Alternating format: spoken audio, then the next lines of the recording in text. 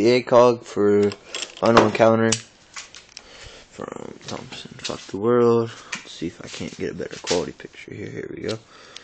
Um, comes with this.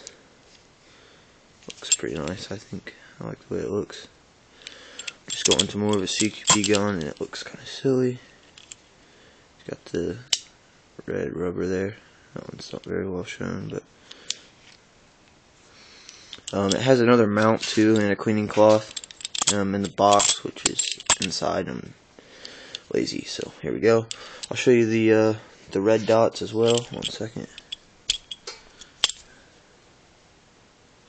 See if I can get this to work. There's the red. Hands are really shaky. Freaking cold. One second. And then there's also brighter and dimmer, I guess. So there's the green. That's bright, I think. Wow, I am shaking. Anyways, so there you go. Um, I don't see any scratches on it, really, anywhere. Because I didn't play with it very much. I had it for my AUG, and then I got rid of it. Oh, there's a few there. I don't know if you can see that. So there you go.